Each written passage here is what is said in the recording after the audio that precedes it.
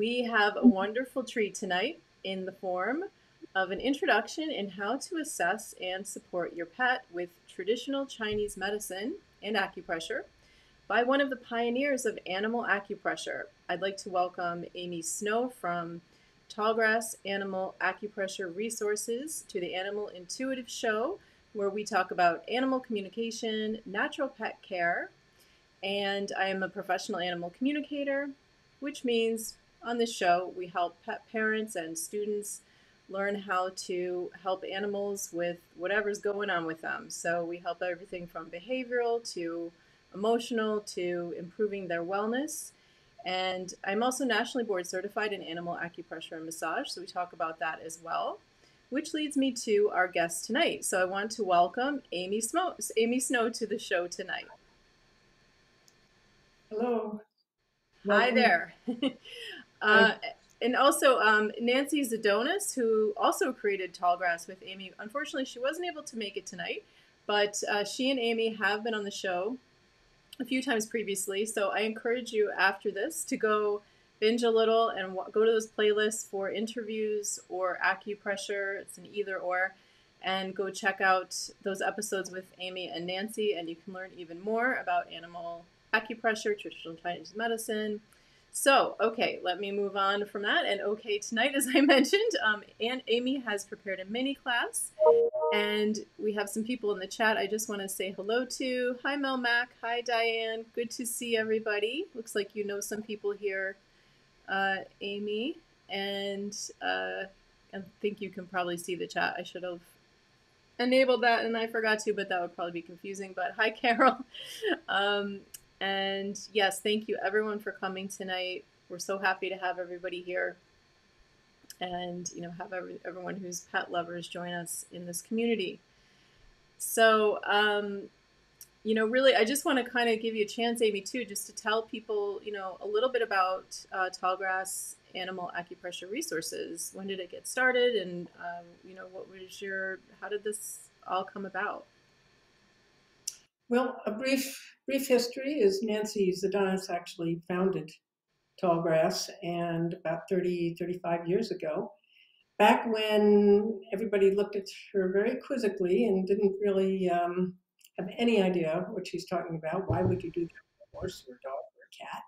Why would you try to use your hands at all? Just go to the vet. Um, so times have changed, thank goodness. And over the past, and I, I think I came along about 25 years ago. Nancy had already written some very good handbooks, so it was starting. The idea that she had was it's you know she could be a practitioner, but the real thing they wanted she wanted was to make sure that it got out to the regular folks who had the animals and could help their own animals. And then we built a base of practitioners and changed, built some of the books to what they are now, but that's been over a 25 year time. And it's been a fascinating, challenging journey for me. And we seem to keep going one way or another. Wonderful. today we're going to talk about assessment and because the Chinese medicine approach can be used with massage, it can be used with intuition, it can be used with anything, communication. And so it's really a wonderful general introduction to how the Chinese mind thinks. Absolutely. Okay. All right. Well, uh, you know, feel free as we're going along in the chat, and I will be checking the chat for questions. So feel free to put those there. If I miss your question, and I, I will go back through the chat and uh, see what I have missed. So don't worry if you put something there and I'm going along and I don't respond to it. So I will come back to it. Okay. And hi, Tammy. Okay. So appreciate any sort of, uh, oops, I lost my screen. If, we, if this is beneficial to you, we appreciate you giving us a, a thumbs up or, you know, just liking the show, uh, sharing, showing us you like the show by sharing it. And hold on one second, guys. I'm so sorry. My little screen just went somewhere else. Hold on. I can see all my controls, but I can't see my screen. Hold on. I'll find it. I think it's down here. It's like hidden. Oh my goodness. Yeah, it's like. Hold on. I'm, this is the weirdest thing that's happened. This has like never happened before where I literally can't. It just like went. Whoop. Okay, I'm sorry, guys. Be there. Hold on.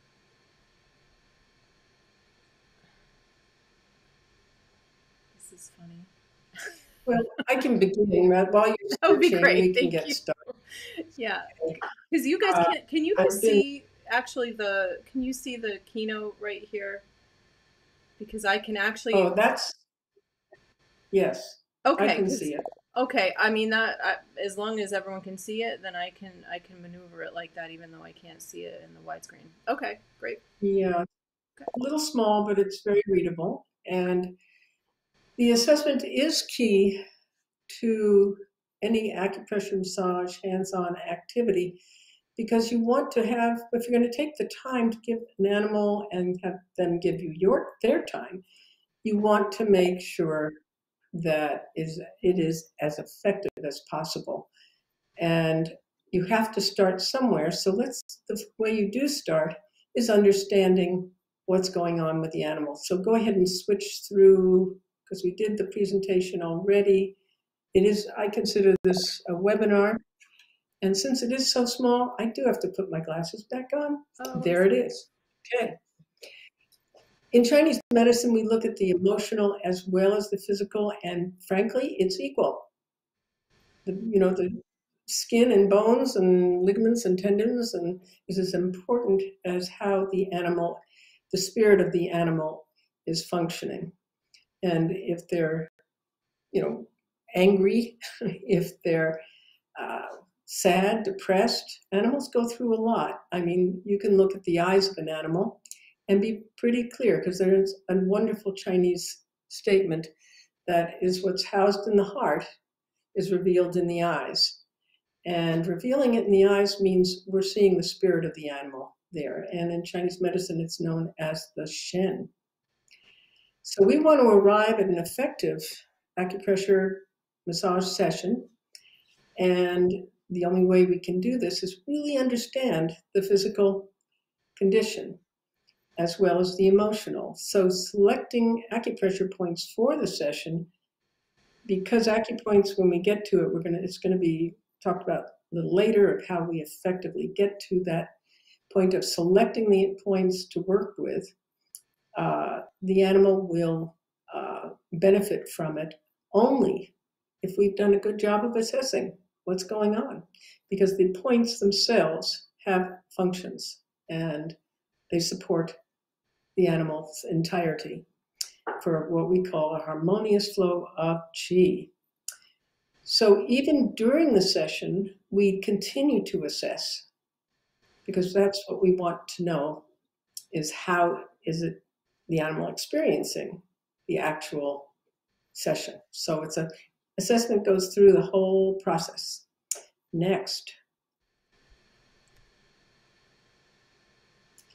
The tool that's used in Chinese medicine is called the four examinations.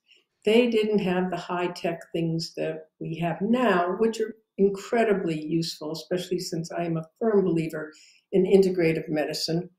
Uh, you, are looking at a person who wouldn't be here without it. So it, uh, I don't, it's part of the picture. We use it as part of the picture. And the four exams relies on keen senses, being able to see, being able to observe, being able to really understand what's going on with the animal. you know, I think we all know that if the animal's eyes are dull and they look like they haven't lived there in their, they've been in a shelter for too long, we, we understand what is going on, that they have been turned off by their lives. And so there are specific acupoints, believe it or not, that help them refresh their spirit. So using your your senses, you're going to be observing, smelling, and we're going to go through the four exams together. what the Chinese are most interested in is the functioning within the environment.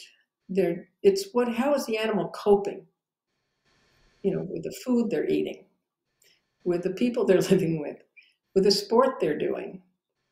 There are many examples that for horse people, you know, you, you get going thinking the horse should be a dressage horse. Well, lo and behold, it's a hunter jumper. It's not a dressage. Horse. So when we started, by the way, we did start with horses, and so a lot of our examples and thoughts go that way. But I love working with dogs and cats, and you're seeing in that picture actually my two past animals. That was Oak and Oscar hmm. in the picture. So they're looking at how is this animal functioning, and whatever the reason they're doing that is because we can see on the exterior of the dog's or horse's or cat's body so what is going on internally so it presents externally. So say an example very quickly would be say there was liver malfunction. Well we'd look at the sclera of the eyes and we'd see yellow. Well, we then know we need to work with liver and clear toxins, clear whatever's going on. So another example is the dog has the sniffles and little nose is dripping. Well, we know we have to deal with the lung. So that is what it means that what's going on internally can manifest externally in Chinese medicine, that is known as the law of integrity, because the body is one whole. It's not disparate. You don't just have a liver sitting over there, because if the liver is not functioning, then the whole body is compromised. So that is what's called the law of integrity. Next. Okay, here is where we start observing. Now that's quite a dog. And what would you say that dog looks like? Is that a healthy dog? Looks pretty healthy to me. What else would you say about that dog? He looks uh, like he has a lot of energy, uh, focus too. Uh, shiny coat or good, good full coat. I guess I can't really totally tell because he's wet, but looks like a good, thick, full coat. Uh, good, you know, looks like he's got good muscular, muscular. You, you know, his muscles are working good. He's jumping up, strong, healthy. Yep, those are all the good things of a well balanced, harmonious flow of chi. That's what you're looking at. Is this dog is vital, has a lot of good, healthy vitality. So here's when you're looking, doing your observations, the next slide will tell you some of the items that we look at with our keen senses. He has joy in his movement. Yes, it's, the focus is so beautiful in this animal. I agree. Now here's another little cute face. uh, could be a little more tentative, I'd say, when you look at that dog. So we're looking at the general attitude. And by that, we kind of combine general attitude with confirmation. You know, if the dog walks slinking into the room with his head down and not looking up and kind of slow, you know that the general attitude and confirmation in that point, things are not quite right. So then there's skin and coat. That is a big telltale, especially with cats and dogs. Um, if the skin is dry and flaky, from a Chinese medicine point of view, not enough moisture and richness and health and nutrients are getting to the surface of the skin. Uh, with the coat, we all have to be a little careful on that because it also depends on breeds. You know, if you're thinking of a Labrador, you want it to be a nice, softer, smooth coat. If you think of a terrier, you might have a more uh, dry and rugged coat. If you're thinking, thinking of a Chesapeake Bay Retriever, for instance, so you do have to consider the breed. If they're mixes, you want to kind of get an idea of what they are. We have a uh, Mexican street dog named Hugo, and Hugo is a terrier of many mixes, and he has a very rough, dry coat, basically. So you do need to think that through. Muscling, well, how is the muscle tone? What's the conditioning of the animal? Is it athletic or is it a couch potato? And you have to know, you're going to, later on in the next uh, part of it, observation, you need to gain even more information. Discharges eyes, ears, nose, any discharges. Uh, even from the um, anywhere on the body, are there any open sores? That would be, or an inflammation, or swellings, or cold places. So you're looking at this animal very focused. You've got to focus on this individual animal and then do some kind of gait analysis, some sort of walk the animal out, trot the animal back, how balanced does it look? And that's the beginning of taking a real good look at the animal. That's the very beginning of assessment. We often say, when we're teaching, put your arms behind your back, your hands behind your back, and just look. Because you see, you know, the human being sees a lot. We do. We do. And we should use that as a very strong tool. And that's what the four examination is about. It is a tool. Next.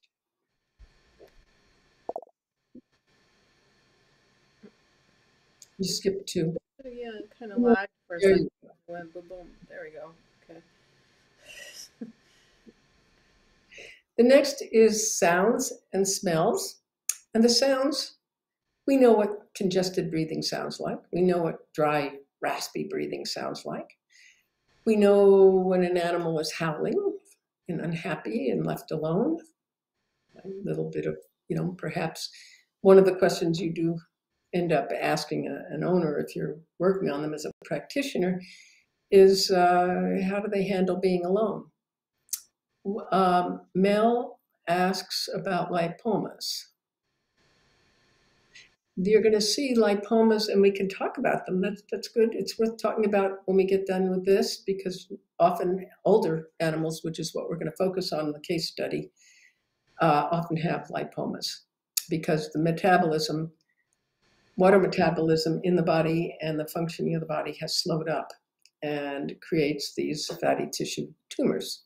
And that's what a lipoma is. And that stagnation in Chinese medicine terms, it's considered a stagnation of body fluids and fats, obviously. Smells, dogs, if you smell a putrid smell, eh, where is it coming from? If it's coming from intestine or is it coming from the mouth? Is it bad teeth? That's worth knowing. Smells and sounds happen to us pretty at much at the same time, you know, and that's why I think they're together in the Chinese medicine thought, listening and smelling. Body odors, again, a Chesapeake Bay Retriever might often have a kind of damp smell because they have an oily coat. And here we have stool and urine. They should smell. If they don't smell, that's not good either. That means that the digestion process is not doing its job. But if it's an extreme smell, that isn't good. So it has to be a balanced smell, so to speak. If it's an extreme smell, and it usually indicates what we call a hot condition, a heat condition. In other words, it's cooking too hot internally to have a, a very extreme smell. Example, quick example of that would be you go buy your garbage in the winter. Yeah, it doesn't smell so bad. You go and buy your garbage in the summer, especially toward garbage day. Yes, the heat of the summer helps the breakdown and create extreme smells. Okay, next. We're up to number three. This can be challenging history, inquiry, questioning, because we don't always know. A lot of our dogs come from shelters, and a lot of our animals, you know, we just don't know their backgrounds. But you try to get as much information as possible uh, from the person who's either the pet's companion in some shape or form. Uh, so the daily routine, when do they eat? Do they sleep? Do they rest? Do they, what, what's their day like? How many walks do they have? Can they go out and just play vigorously? Or are they contained in a crate a lot of the day? We have a little dachshund who spent 14 hours a day and he is a mess. He was in his crate for 14 hours a day, and I don't think the people gave him very much attention until they finally turned him in to the Humane Society. They asked us to help him. Um, we picked him up thinking we were fostering. It's six years later because absolutely no one else would have kept him alive. He's a sad little stuff fellow, but we love him. He's a love dog. what kind of sport? Uh, is he couch potato, like a lot of greyhounds, which I've had? Is he a coursing dog, a frisbee dog, just a walking dog, a beach buddy? It's important to know how much exercise the animal is getting and how much rest. It's equally as important that you have to rest. What food are they eating? Is it a natural raw food? Is it a parboiled because they're older? Is it, unfortunately, other kinds of food that are available? Those are questions you need to ask. But do remember that any of the dry nugget foods uh, tend to be hot in nature from a Chinese medicine point of view. Veterinary care. Any veterinary procedures? Have they been desexed? Has they do they get medications? Have they had uh, surgeries or ligament issues? Those are all part of the getting asking questions and knowing more and more about the animal. And last but not least, because Anne's going to turn it to four. Sorry, my buttons keep sticking. Did that? Did there you go. That's the one. We look at the physical condition of the dog as a total. And we start with the bladder meridian, just touching it and going down it, because it's actually the beginning of the session. And once you touch the animal, you're already beginning the actual physical acupressure massage session. Uh, why you trace this particular one is that it does travel from the inner canthus of the eye all the way down to the pinky toe of the dog or cat.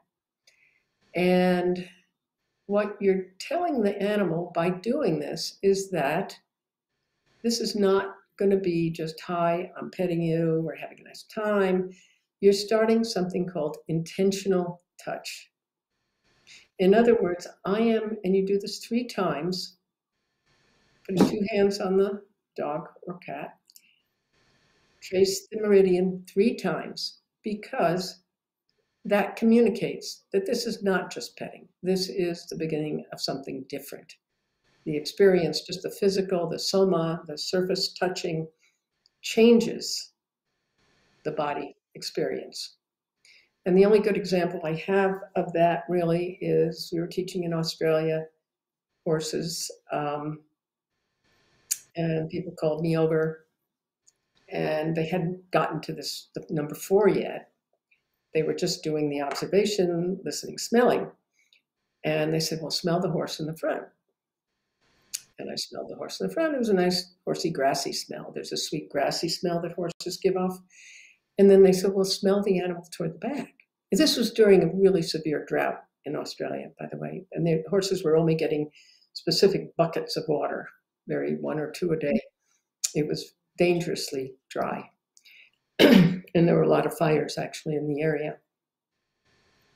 So, one quick drink here. Went to the back of the horse, smelt like burnt wood. Really, really strong burnt smell. And so I said, Well, go ahead and do the opening it's called the opening, going the tracing the bladder meridian. So go ahead and have to keep, keep going. And they did. And then came back and said, You've got to smell this horse. They had just done the, the tracing. I smelled the horse. Grassy. So this is why I know that this is the beginning of the actual session, is because just from that somatic touch, light touch even, three times on each side of the animal, that is already balancing, starting the balancing process. And they're also finding out that, well, and it's true, if you touch anywhere, if you touch it even on your own shoulder, your consciousness goes to that spot.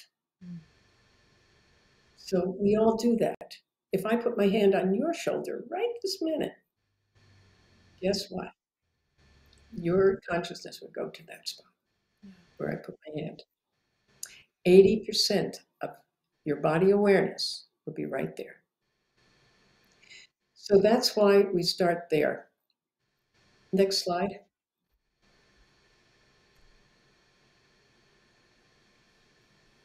So what are you feeling for with during the physical? This is the beginning of the physical, number four.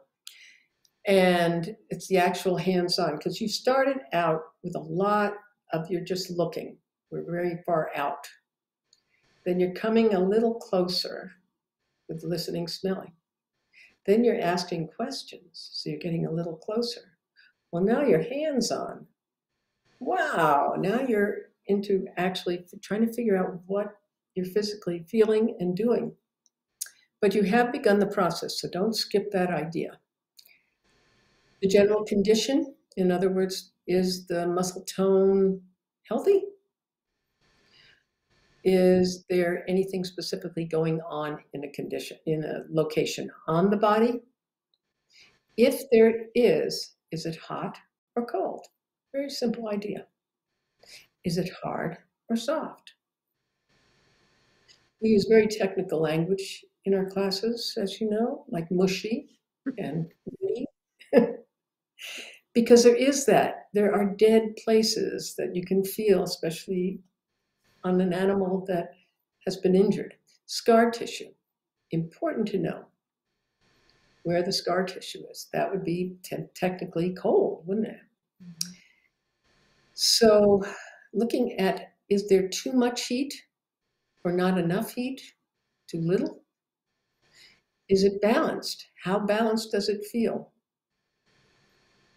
And when you're touching all the whole body, you get a sense of what's going on. And that's part of figuring out what the physical condition is. But you're also, when you're doing this, how alert? How is the dog responding or cat? How, what is the response? You're, getting, you're also picking up from what you started with, which is general attitude. Are they curious? Or do they want to get away from you so quickly? Whatever's going on, you, this is where you, it's sort of the uh, rubber meets the road is you figure out what's really going on for the animals. Now you're down to the specific. Okay, so what do you do with all this fantastic information? Because you're looking at the vitality of the animal. How energetic, how focused, how what is the best, what and you want to give this animal the best.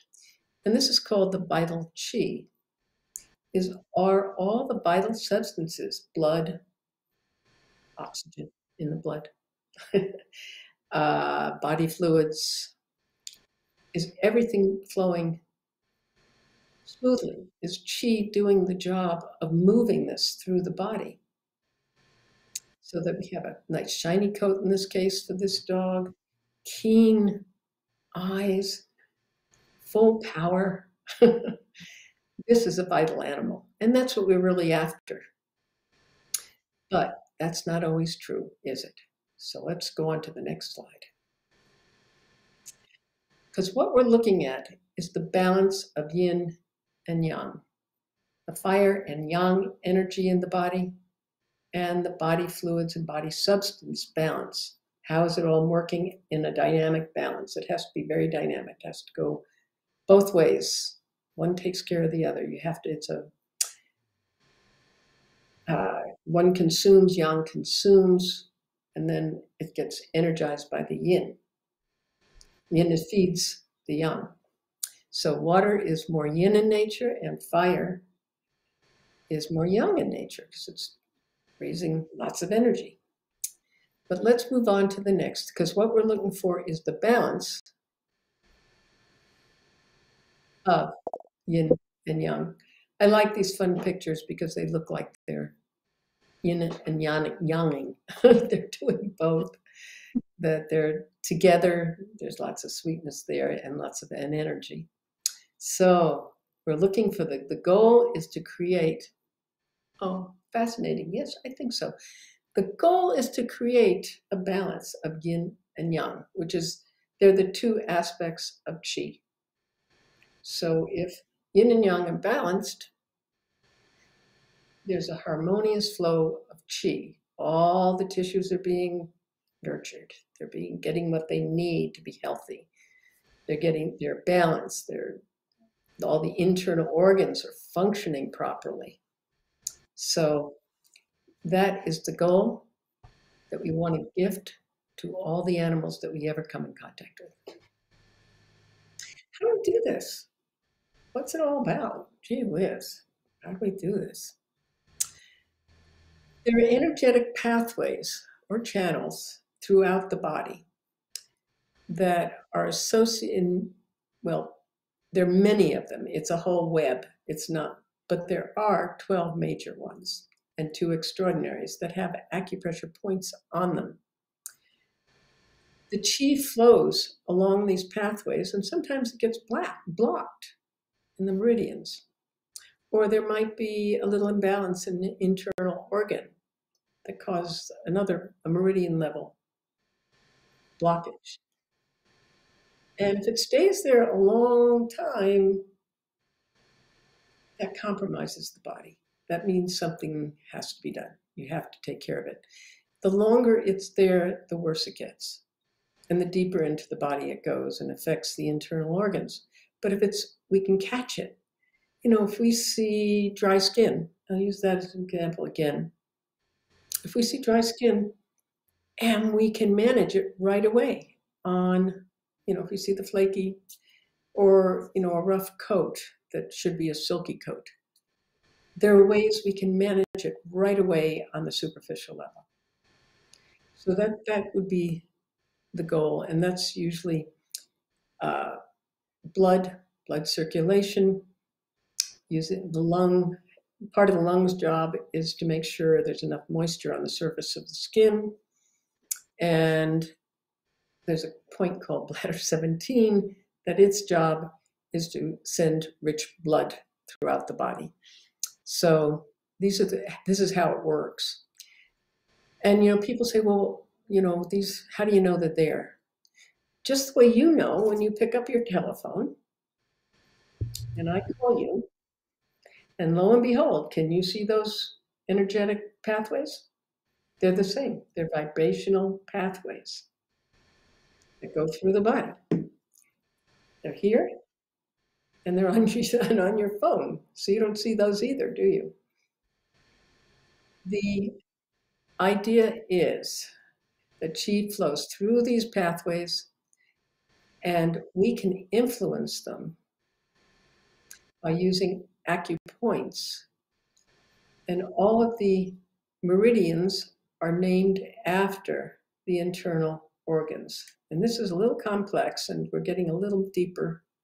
But I'm going to have, we'll go on to the association, uh, the points that we're going to talk about.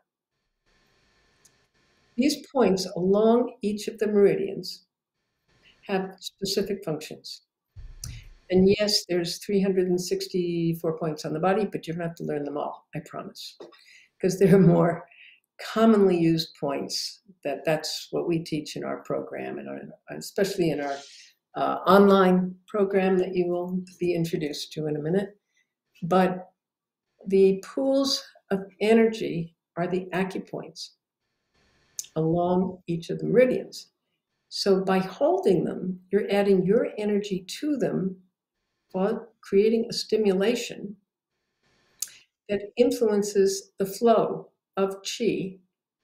And when you say blood as well, because in Chinese medicine, blood isn't only the red stuff. it's any nutrient rich fluid in the body. So the body fluids are affected.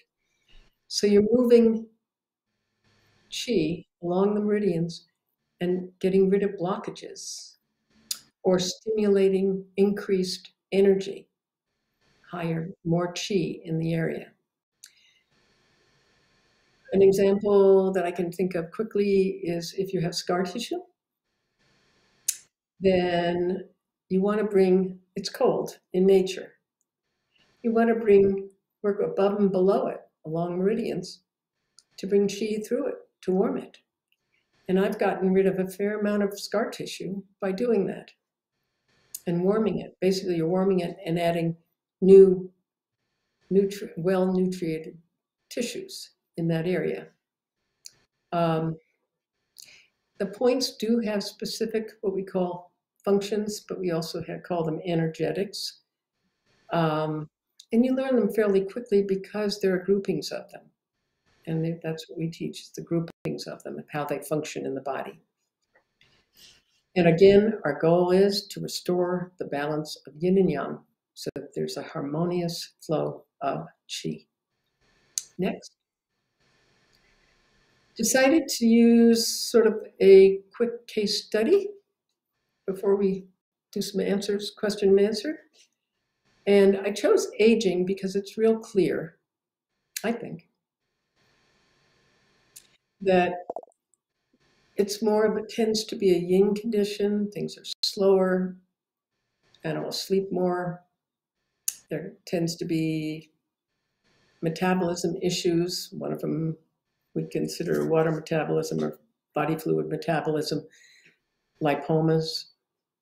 Uh, digestion can be a little more touchy. Uh, I have a 13 year old beautiful dog, and she uh, has frankly lost her eyesight. She's blind. So things do change, and that's more yin in nature. What's interesting is she's still running and playing and doing everything, but she, I can tell that her just digestion has slowed down quite a bit.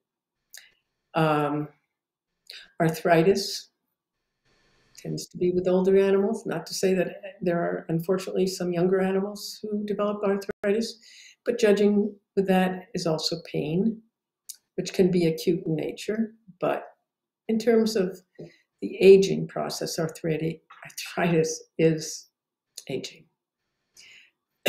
Poor, less circulation of blood and body fluids weakens the immune system.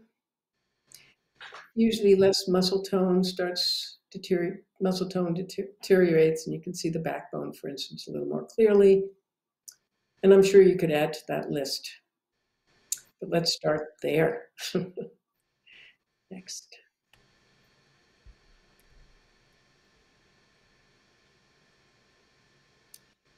I know you can't read that. It's too small. Oops. No, stay back one. there you go. So a session plan for that animal, for any aging animal, this is sort of a generalized, they have a loss of vitality. That's how we look at it from a Chinese medicine point of view. So, how do we help this animal? What do we do? Gee whiz, we want to help this animal. True, we'll never restore this animal to 100%, but we want can manage the animal's issues. So we want to help improve circulation, stimulate digestion, and address arthritis.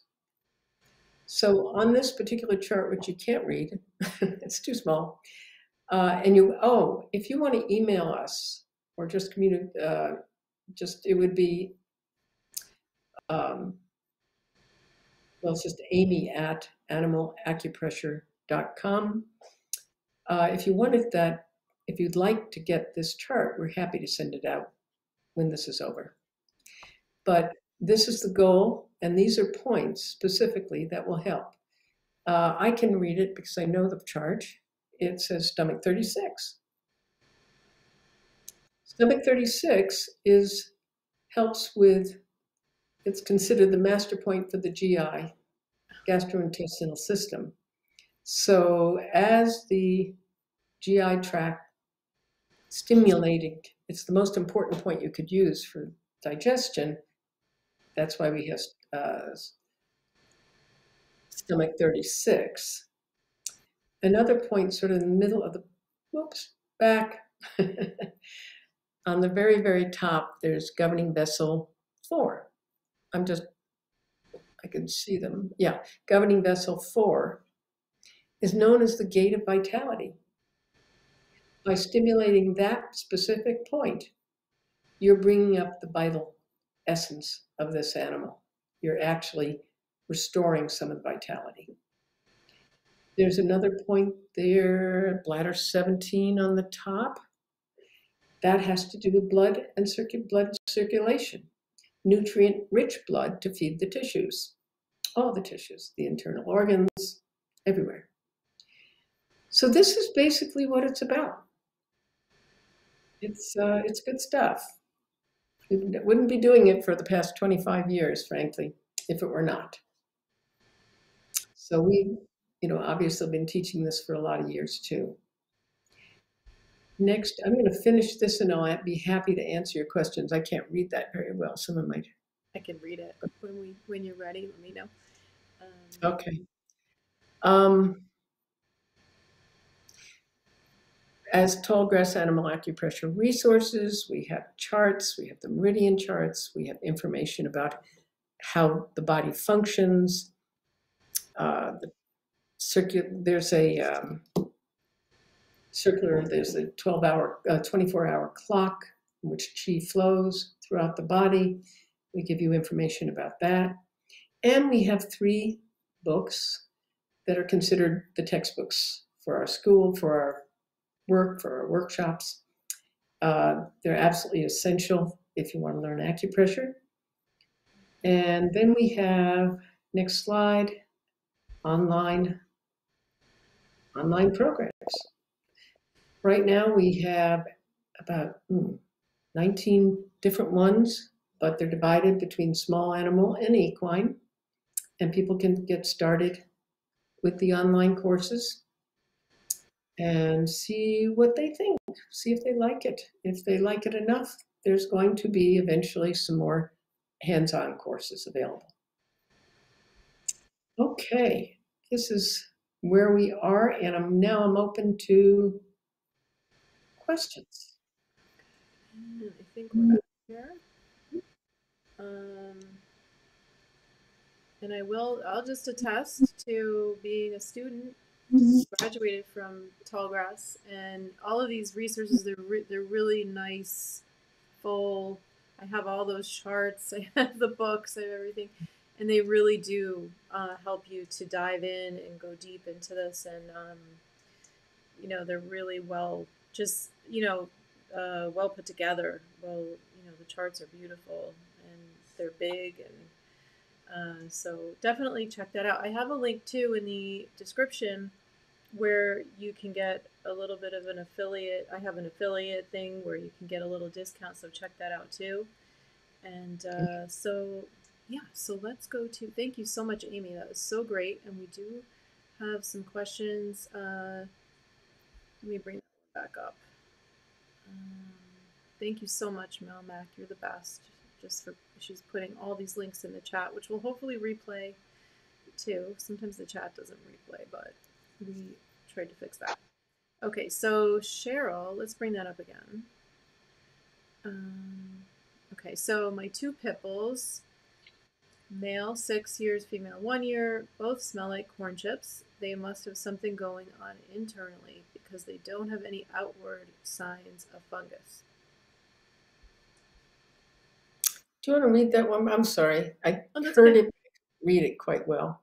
Um, my two pipples, a male mm-hmm. who's six, a female who's one, both smell like corn chips. They must have something going on internally because they don't have any outward signs of fungus. Ah, is it a? Do you do you would you characterize the smell as a heat, a warm spill? Let's see. She says, uh, Cheryl, did you? Hopefully, you heard that.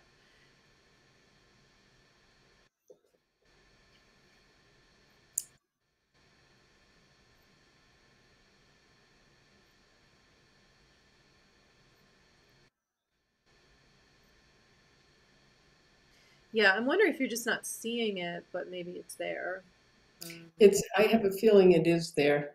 Um, if it's that dramatic a smell and it's very corn chippy, it could be candida. It could be a number of things. Um, the question I would also have is, what are you feeding?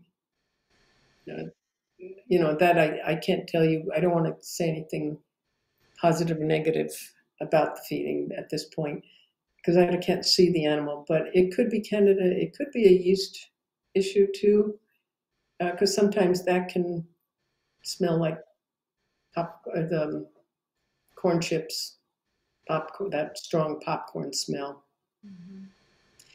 Dogs tend to have that smell in their paws alone, but if it's the whole body smell, that's a little too much. That is too much. Uh, any other questions or comments? Anything? Anybody's wondering about the programs that uh, uh, Tallgrass offers, or anything? Any questions about anything that Amy went over? Um, guess it might be a warm smell. Okay, Cheryl says, I guess it might be a warm smell. I feed them Victor dog food. Um, That is a good food. The if it's dry though, all dry food is hard for them to digest. You need to figure out a way to get more moisture into their bodies. Not not just they're drinking on the side. Um, that is one of the issues with any of the pel- pelletized foods. Is that the um, body metabolism needs a lot of fluid to digest it. If it's not enough, then you're building a heat condition internally. Okay, and Carol says, "Is there any? Is there a general grounding massage or touch?" The most grounding point in the entire body is called stomach 36. It is what's called the earth earth point on the body, and it's just on the stifle. Um, if you fall off the patella, just come down off the patella, and a little way in the soft area at the top of the uh, fibula, not fibula, the other. Picturing it. Ah. To the lateral side. Just come off the patella and go to the lateral side, just beneath the joint. It'll be a soft little space, and it's known as stomach 36. That is the most earth earth point. You can also use what are called the Jing well points, which are surrounding the nail beds of the dog. That can help with grounding as well. Okay, thank you. And Katie Cat is my Yeah, in fact, oh, yeah, when I'm teaching Tui Na, which is acupressure massage, that's the real thing, and it's it's a little more advanced. People do need to know their meridians and their points. Um, I talk about taking just rubbing generally around the nail beds, and that balances quite a bit of the entire body, even if you didn't know anything. It's very helpful. Uh, okay. Um, thank you. And okay, so Katie Cat says my foster kitty has some sensory defensiveness at times when petting her back. She can get a little hissy, crabby. She she has sinus congestion, possible allergies.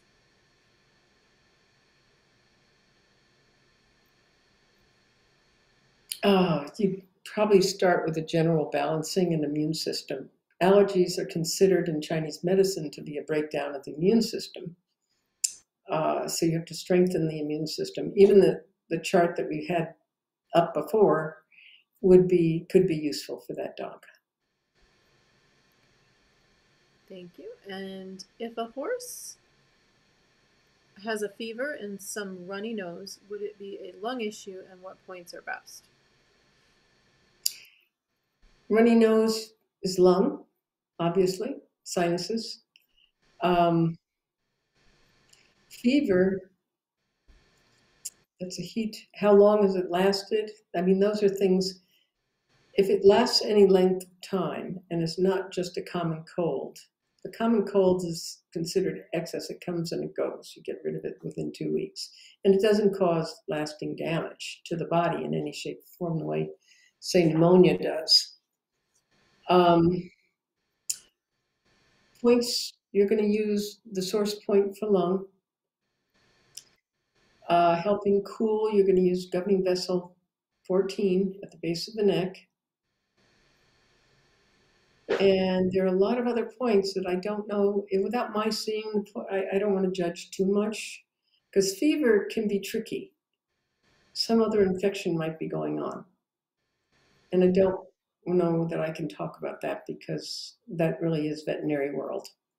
If there is an infection or any sense of infection, that's fever is an inflammation.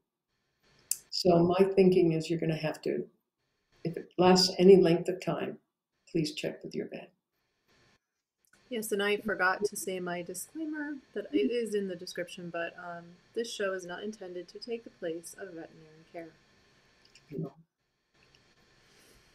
And integrative medicine is the best way to go.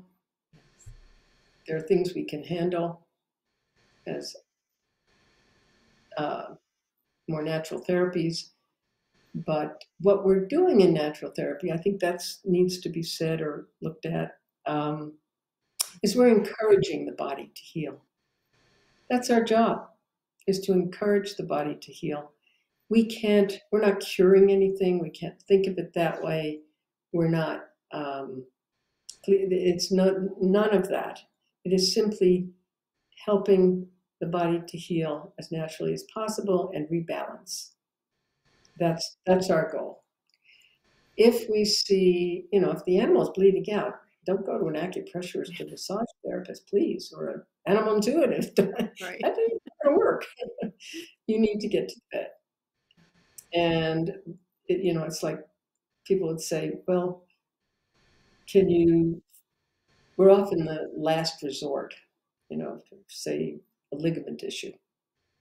Well, if it's totally detached, uh, you know, that's not going to work we can help nourish the tissues around it, help remove toxins that are around it, but we're not going to be attached to the tendon most likely because tendons don't have their own blood supply.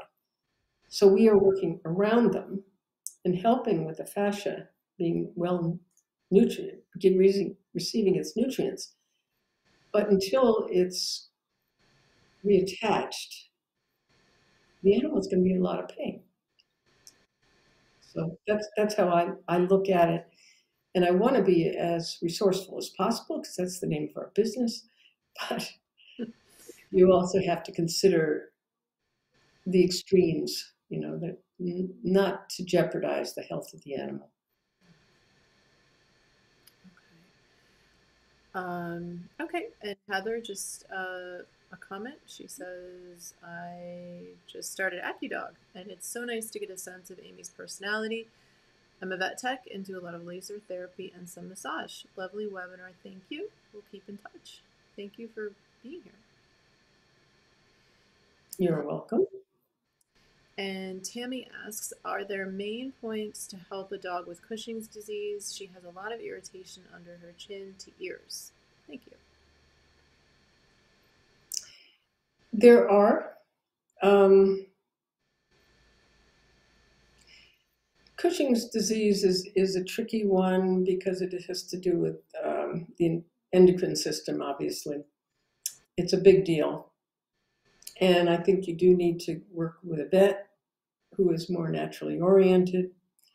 Um, there are specific points that we use to help support the endocrine system. It's one, uh, the points that we look to are called the triple heater that affects the endocrine system. Um, and that's a big you have to take some classes to understand the function of it is the uh, conductor of the entire orchestra that goes on in the body in all three portions of the body. So that's why it's called triple. And it's the triple heater. It, it regulates all the basically the systems of the body. It's the, that's the endocrine system. It's body fluids. It's bodies. Uh, the way chi flows. It can, it relates to everything. So Cushing's is a comp, what we call in Chinese medicine a complex because it involves many different things and it can show up. You know, in horses we see the coat, we see the crusty neck, we see so many different things. I, you know, I, I must admit I don't know too many dogs with Cushing's hair growth. Um, even change, changes in the way, you know, how much saliva is in the mouth and how much fluids in the eyes. Uh, so I can't give you a blanket answer, but the triple heater is one that we would look to to work with Cushing's. Uh, and Vera says, "What ask what general book would you recommend for general understanding of Chinese medicine?"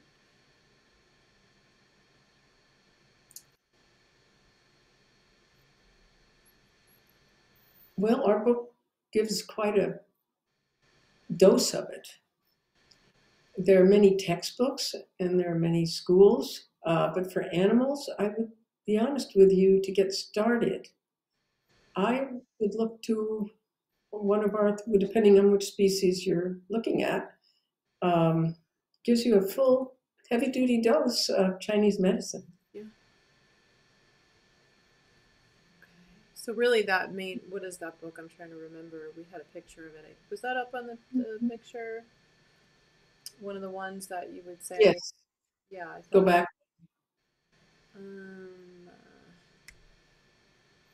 there you go. So Acu-Dog, with the whole first part of it, talks about the nature of the dogs. The first chapter. The next chapter, it's a 210 page book but we go through quite a bit of Chinese medicine, the whole first section of it, before we get to sort of generalized uh, conditions that we talk about and give you charts for the conditions. And the same with the cat book. Now the cat book's even a little different uh, because cats are cats are different. I like the cat behind you, by the way. They are different. yeah, sweet kitty. Um, cats are different in that they tend to only like being handled with you know something as uh, like acupressure and massage if they need it. Um, we were visiting a cousin in Israel, and we came in and been there and dinner had had dinner, and we looked over and there was a cat was on the back of the couch, and the cat was 18 years old. And I asked Ilana, my cousin, um, well, what's going on with that cat? Because she was sitting in the sick cat position, just very, mm, with the eyes half closed, kind of that, not moving. And she said, yeah, she's just getting old. We think she's going to be passing very soon, and she's not uh, doing well she's not drinking and eating, and she's not keeping herself clean, and she's not being as cat-like as she needed to be. So Nancy thought, hmm, let's see what happens. So she went over to the cat after dinner and did an opening. Cat didn't move. Worked a few points because we didn't know exactly what was going on with the cat. But some of the aging points that you have in that chart governing vessel, blood, body fluid movement, rebuilding. In other words, the, taking the components of chi and essence and moving it again, just helping her move, move her own internal activity. Uh, the cat, after she was done, she went back to help us with the dishes. And the cat wasn't on the back of the couch after we got done with the dishes. The cat was walking around, came into the kitchen, was eating. She lived to 23. And that was one, one session. So I, you never know. Frankly, you never know. Um, just helping them be more vital. That was that's all it was about. She had, was losing the loss of vitality. It was just going all the way down. So bringing up vitality in an older animal, and you can give them choice. They don't. the body may not be able to respond, and that is very very true. And then we have a series of hospice points when their body is not able to respond to help them pass. There's a particular point right here, it's called kidney 27. And in another modality, it's known as the uh, all that is, was, and will ever be point. Now, cats have, some cats have a vestigial uh, manubrium, it's called. I don't too much language. Anyway, it's a deep spot right in the front on each side of the top of the, where there are no longer any ribs. That's one way to look at it. And they're very deep on dogs and cats. And it was using that point specifically helps the animal know that they can pass if they need to. If they don't need to, it adds vitality. It's the connecting point for all connecting points in the entire body. It's really fascinating. It is the association point for all association points. It connects right here. And if you think about it, it's where the priest puts his hand for the last rites. It's where we often put our hand for the last Shema, the last prayer, because you can feel the vibration of breath there. And that's what that's about. This is where breath is vitality. And if, as we all know, if we're not breathing, we're not vital, it's not working. So the lung is one of the most important part of the vital functions of the body. So we have a good time teaching this we recommend people do take their, uh, we have an overview of traditional Chinese medicine is the first online course that everybody should take. Whether they continue or not, it gives you a lot of valuable, it's a hard, it's a tough course. It's a big course. Mm-hmm. Huge, valuable information in that particular course. If you want to go on after that, there's um, acupoint classifications. And the acupoint classifications tell you, for instance, I said stomach 36, gastrointestinal system, teaches you those the groupings of points and how to use them. They're kind of they're I consider them the traditional Chinese medicine bag. They're my big tools. I use them because they're commonly used points. They're very powerful. They're the most powerful points, actually, all collected together. And once you learn them, you can use them effectively. So stomach 36 would be one of those. Um, it's a master, it's called the master points. If you have a hind end issue, say hindquarter problem, bladder 40 is very important. Stimulate that point in the back of the stifle. Helps energize the entire point. One of my favorite points, by the way, is what's called classical points. I use them a lot in my work. And it's called the Ba Hui, B-A, B-A-I-H-U-I point, Ba Hui. And anybody who knows dogs knows how much they love that point. It is right on the sacrum, on the hindquarter, on the sacrum, where there are no spinous processes sticking up. None of these spinous processes stick up in other parts of the spine. They're flat. It's sort of a junction where there it feels like a little baby trampoline. That is the Ba Hui point. I have dogs that usually dance when I do the Ba Hui point. So that can be great. That's just a wonderful overall happy point for dogs and some cats, not all, but some cats like it too. Kind of see it there. I'm sure trying to see it myself. It is tiny, but I'm trying to show it. Oh, there. That's what you're doing. I see. Yep, right on the sacrum. Good. And it just feels like a soft space in that area. And it it's uh, just a, it's the we call it the happy to, happy point for the dogs in particular. I had a Chesapeake once who, if I had my arm and I was just reading, watching TV or something, she'd come over and she'd flick my arm up and get her little butt right under it, asking me to rub that point. So she that was my girl Shayna. That was her her special spot. Wouldn't you say, Amy, that mm-hmm. they're so intuitive about what they need? Like they will, like you're saying, just sort of show you if you allow mm-hmm. them, they'll help you sometimes to find, you know, exactly what they need. Once they're used to acupressure and that your intentions are of healing, you you have healing intent toward them, with them, they participate. Uh, you know, sometimes dogs, you know, are amazing. Tilly, my dog, uh, she will start chewing on a specific spot. And I'll look at her and I'll say, oh, okay, that's the spot, huh? And then I use it. And she just will relax, move into it, absorb the energy. Very, yes, animals know what they need.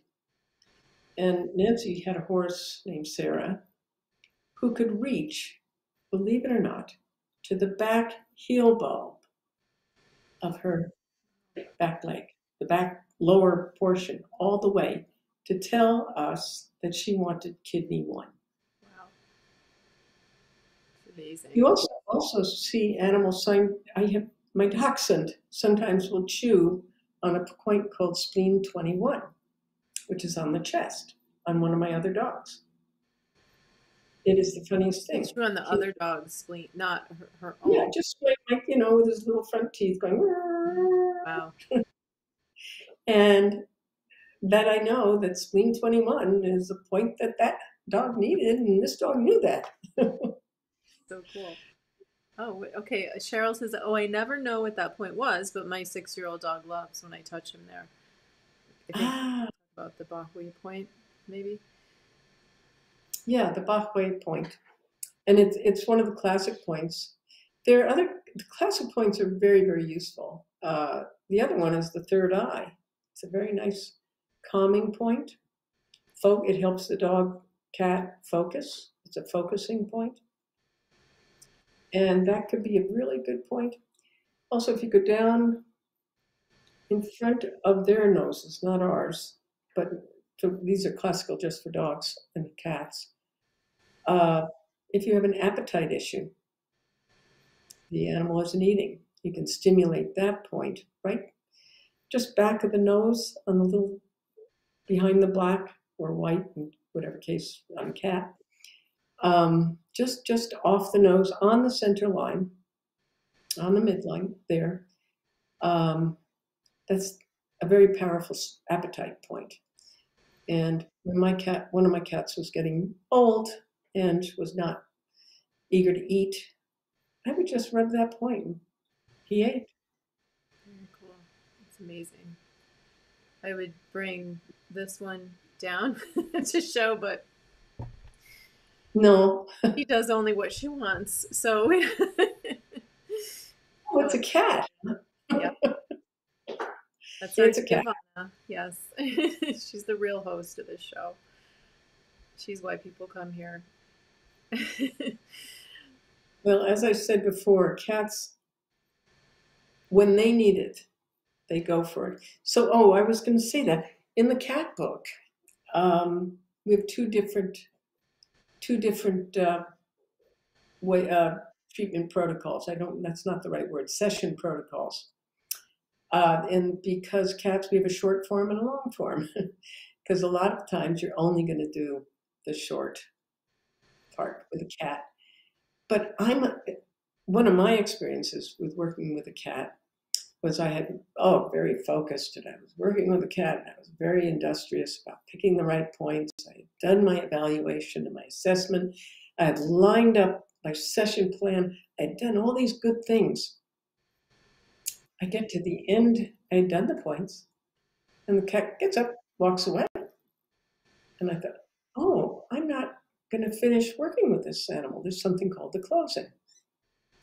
This cat literally went like this, which is the lung meridian, which is the lung meridian on that side. And I had worked on lung because she had a stuffy nose. Went down the pericardium, which is a, has to do with emotional issues very often, and digestive issues, which was her issue.